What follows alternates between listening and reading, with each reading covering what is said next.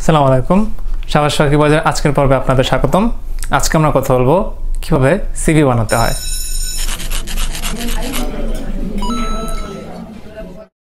প্রথমেই আমরা সিভির ফরম্যাটিং নিয়ে কথা বলব না।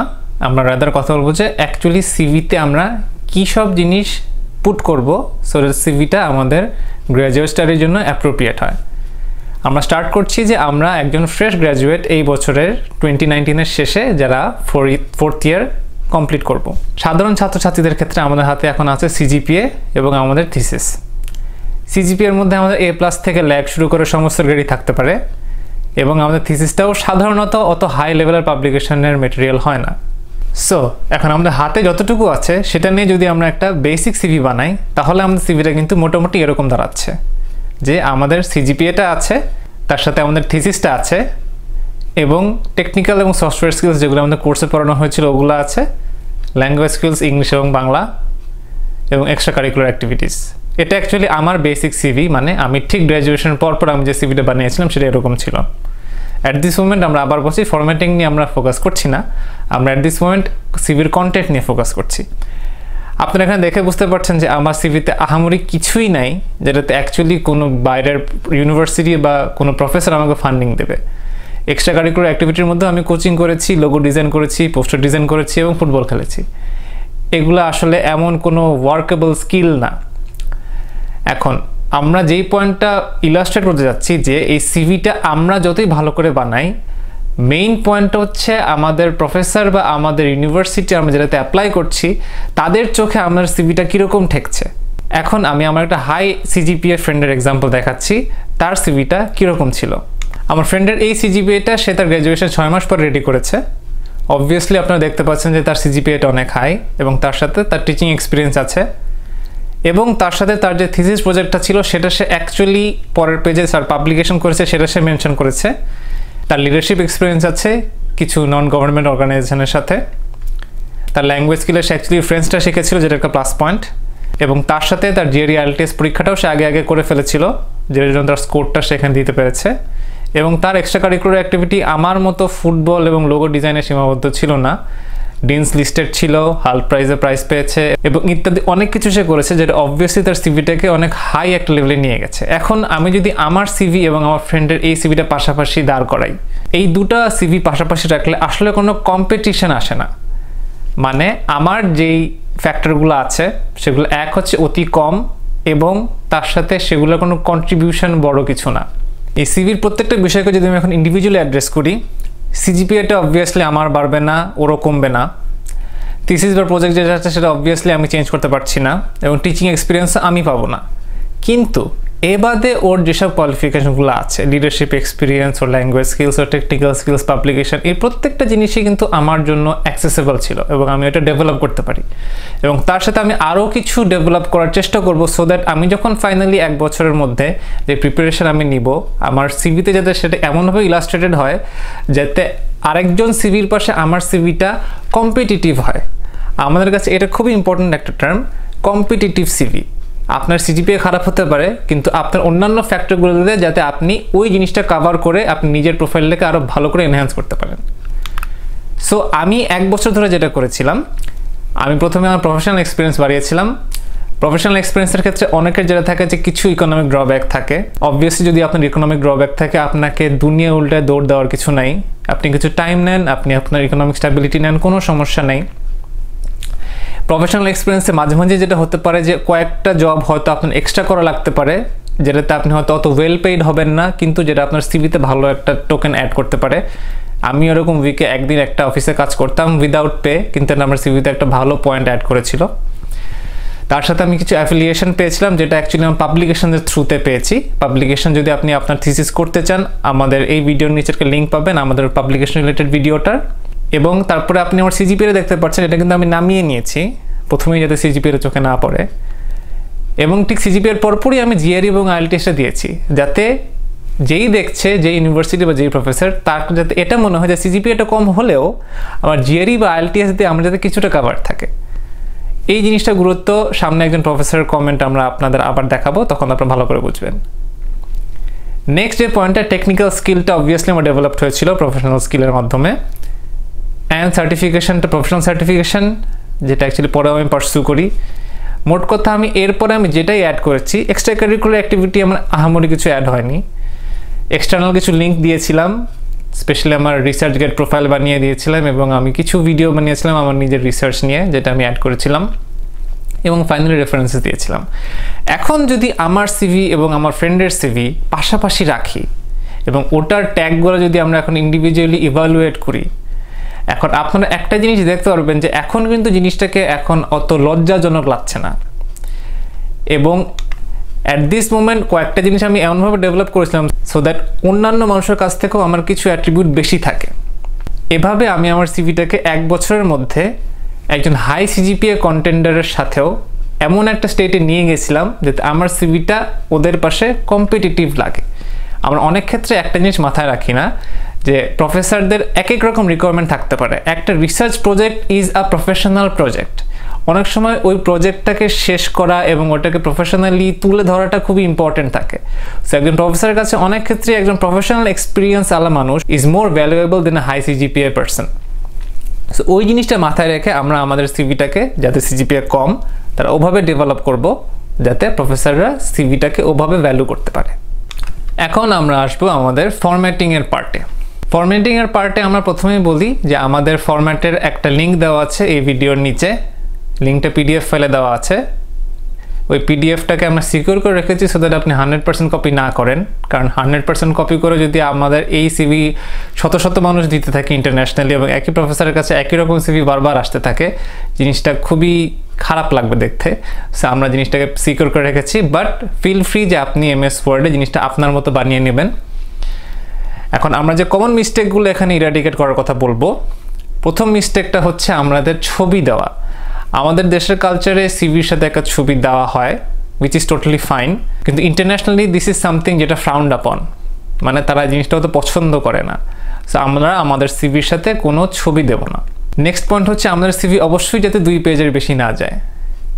সিভি সাধারণত মানুষ প্রথম পেজ পুরেই শেষ করে ফেলে। সেকেন্ড পেজে প্রফেসররা বা ইউনিভার্সিটি যারা ইভালুয়েট করে, তারা সেকেন্ড পেজেও যায় না। কিন্তু থার্ড পেজটা অবশ্যই আমাদের এক্সেস এবং ওটা আসলে টু মাচ হয়ে যায় একটা সিভির জন্য। এখন সিভি যখন দুই পেজে আটাতে বলা হয়, তখনই আমরা আবার ডাবল কলাম করে গ্রাফিক্যালি অনেক কিছু অ্যাড করে, জিনিসটাকে অনেক কনসাইজ করে ফেলার চেষ্টা করি। ওটাও আসলে দেখতে খুব খারাপ লাগে। সিম্পল ব্ল্যাক অ্যান্ড হোয়াইট সিভিটাই হচ্ছে বেস্ট এবং অনেক ক্ষেত্রে মানুষ বলে যে, ভাই সিভিতে আমি সব ইনফরমেশন আটাতে পারছি না। There are smart ways to do that and ওটাই রেকমেন্ডেড অনেক আমাদের লেটেস্ট যে অ্যাচিভমেন্টগুলো ওগুলো আমরা অ্যাড করব। পুরানো জিনিসগুলো কিছু দরকার হলে কেটে ফেলে দেবো, সেটা রাখা দরকার নেই। এবং আরেকটা পয়েন্ট যে অবশ্যই আমরা ছোট ফন্ট ইউজ করব না। ফন্ট নিয়ে ডিটেল আমরা সামনের সাইডে পাবো। ফরম্যাটিং নিয়ে বেসিক আউটলাইন যেটা, প্রথমে আমাদের নাম অ্যাড্রেস কন্ট্যাক্ট ইনফরমেশন এবং লিঙ্কড ইন অ্যাকাউন্ট থাকবে।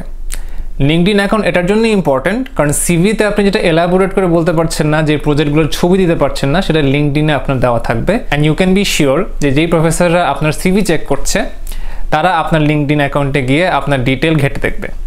সো লিঙ্কড ইন অ্যাকাউন্টটাও আপডেটে রাখা দরকার।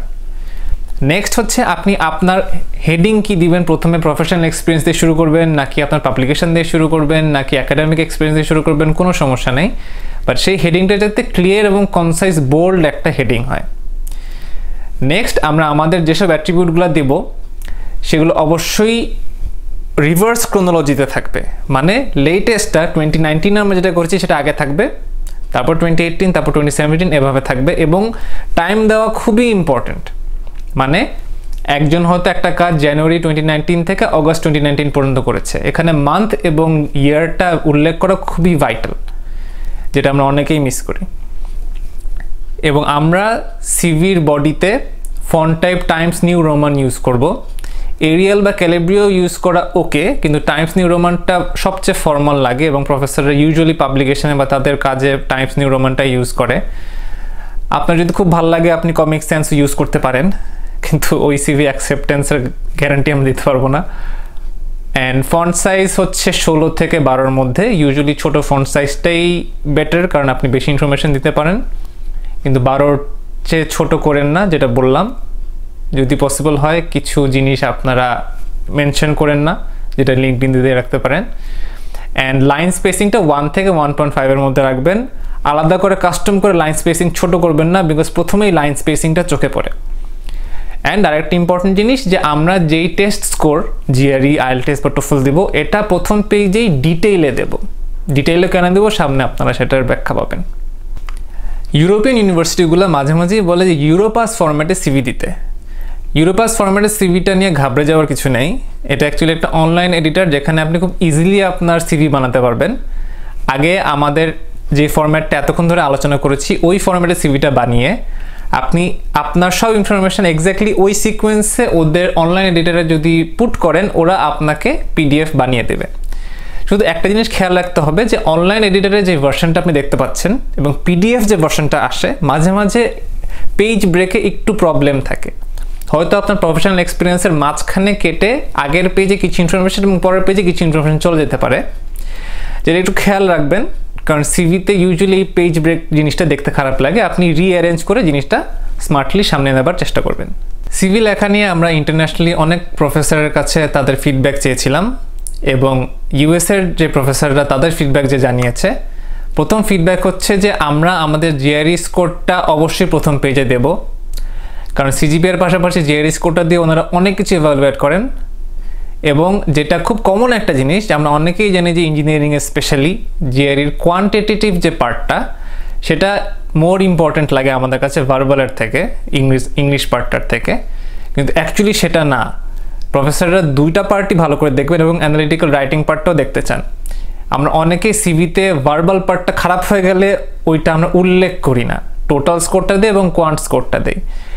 এইটা খুবই আনস্মার্ট লাগে। এবং আপনি যতই খারাপ হোক, যেরকমই লাগুক, আপনার অবশ্যই আপনি পুরো স্কোরটা দেবেন।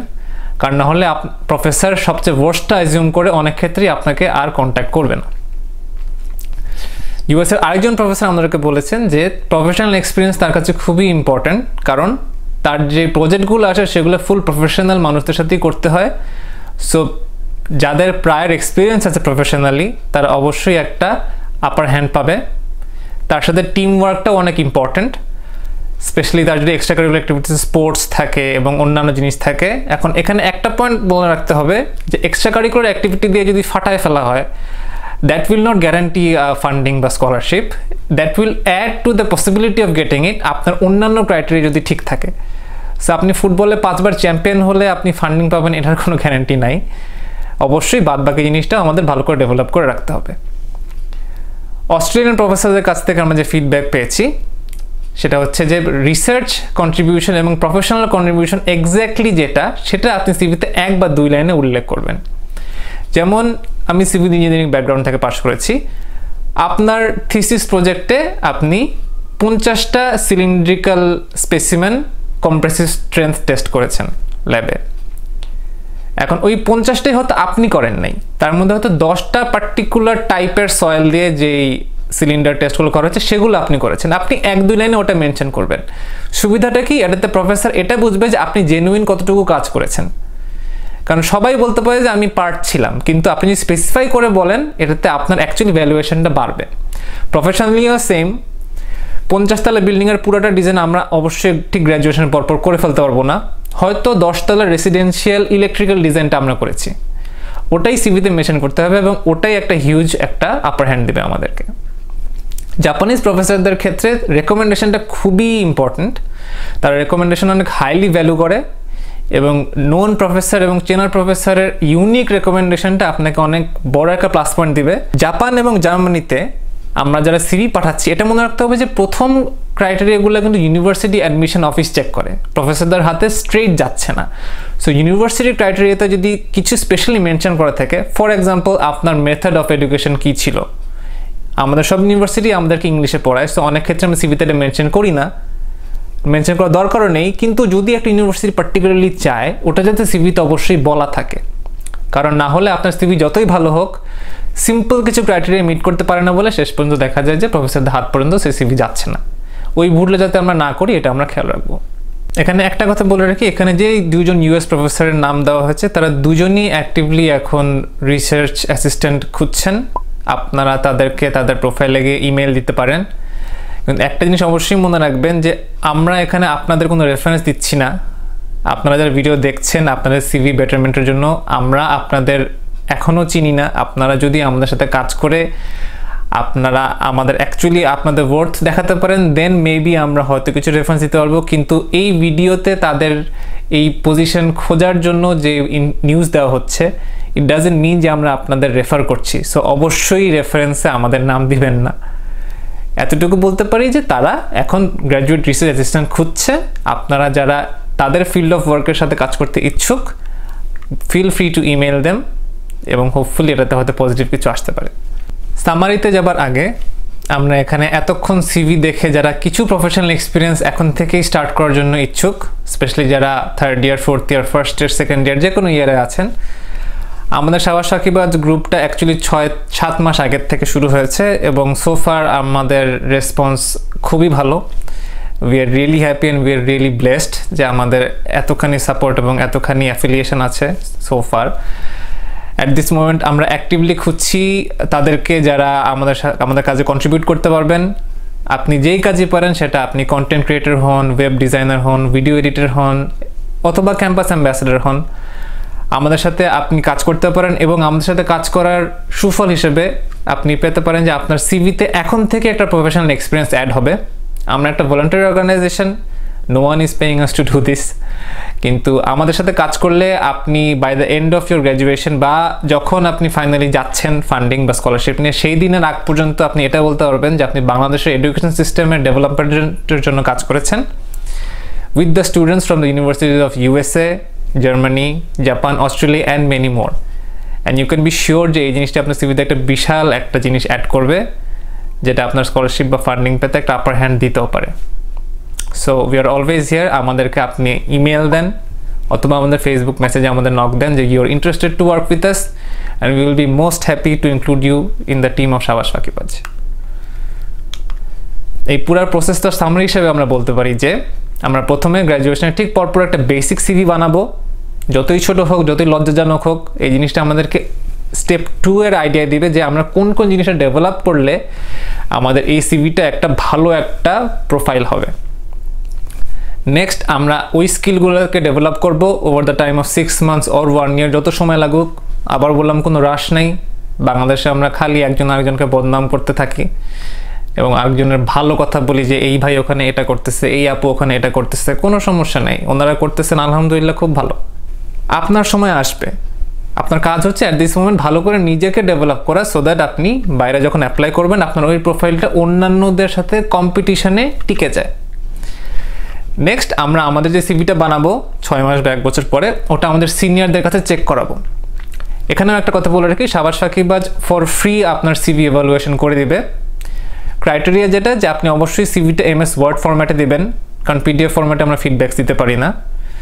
আপনার সিভিটা আমাদের নিচে যে ডিসক্রিপশনে যে লিঙ্কটা পাবেন, ওই ফরম্যাটে ফলো করে লিখবেন এবং আপনার সিভি একবার, দুইবার, তিনবার, যতবার লাগে আমরা আমাদের ফিডব্যাকস দেব। আমাদের ইমেল অ্যাড্রেস অবশ্যই দিবেন ফেসবুকে আমরা ইউজুয়ালি সিভির ইভ্যালুয়েশন করতে পারি না সো আমাদের ইমেল অ্যাড্রেস এখানে পাবেন। নেক্সট ওই সিভিটা যেটা যাচাইকৃত হয়ে গেছে এবং মোটামুটি সেট হয়েছে আপনার জন্য, সেটা আপনি রেডি থাকবেন যে ডিফারেন্ট ফর্ম্যাটে আপনার দিতে হতে পারে। ইউরোপাস ফর্ম্যাট হতে পারে জাপানের হয়তো ইউনিক কোন ইউনিভার্সিটির ফরম্যাট থাকতে পারে বা অস্ট্রেলিয়াতে অনেক রকম ফর্ম্যাট থাকতে পারে। সেম কথা ডিফারেন্টভাবে লেখার জন্য রেডি থাকবেন এবং অ্যাট অল টাইমস আপনি আপনার সিভি আপডেটেড রাখবেন সো দ্যাট একদম লেটেস্ট ইনফরমেশনটা সেই প্রফেসর বা সেই ইউনিভার্সিটির কাছে চলে যায়। আমাদের পর্ব আজকে এখানেই শেষ। সাবাস সকিবাজের পক্ষ থেকে আমি ওয়াসিক আমিন আপনাদের ধন্যবাদ জানাচ্ছি। দেখা হবে পরের ভিডিওতে।